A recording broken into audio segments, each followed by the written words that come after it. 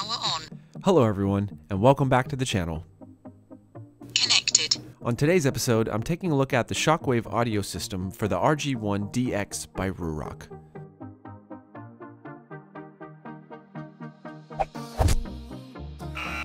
Just a couple of performance specs to start with, charging time of 2.5 hours and a listening time of 7 to 8 hours. Uh, on my commute, I use it for about 10 to 15 minutes per day, and I've been using it for just over a week, and I haven't had to charge it yet, so I really feel like that listening time is probably a pretty good estimate.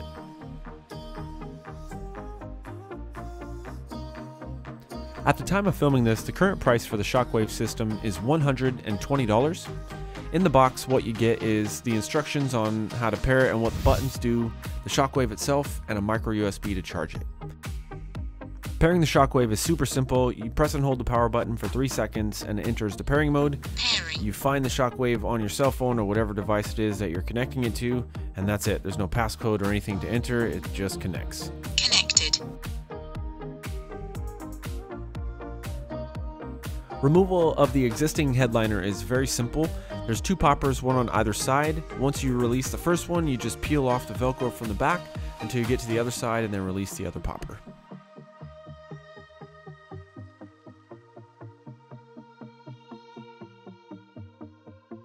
Here's the two of them side by side, not much difference. Uh, on the Shockwave system, you can see some function buttons on the sides that I'll get to a little bit later. Um, but other than that, the only difference is, of course, just the actual speakers themselves.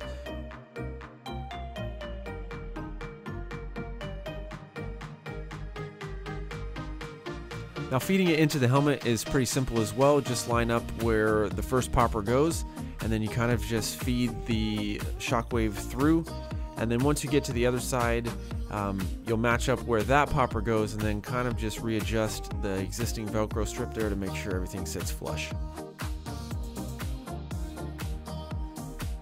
The placement of the speakers is probably the most important part to making sure that you're going to get the best sound quality out of your Shockwave system.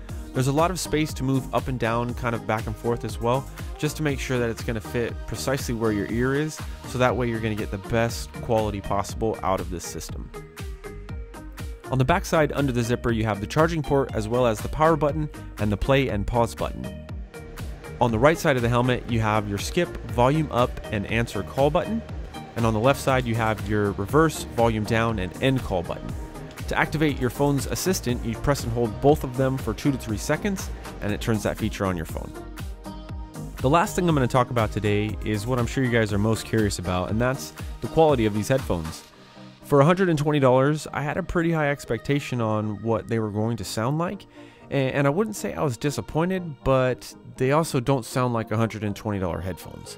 Um, at high volumes, they don't distort, so that is definitely a positive thing, but you're just not getting the low end out of it that you would with over the ear headphones or in ear headphones. And you can't really be too mad about it because for what it is, they're not really designed to give you the most amount of bass. So, as far as quality goes, what you get for $120, in my opinion, doesn't really matter because you can listen to music. Uh, I couldn't find a way to make it work with earpods or earbuds or anything like that with this helmet. And so by having the Shockwave, it allows me to listen to music again. And so for me, that's definitely worth $120. Alright, so I think that's a wrap for this video today. Uh, I hope it was helpful. If it was, please hit that button. If you guys have any questions that I didn't get answered in this video, just leave them in the comments below. If you haven't already become a subscriber, I would love to have you guys on board. And as always, I'll see you guys next time.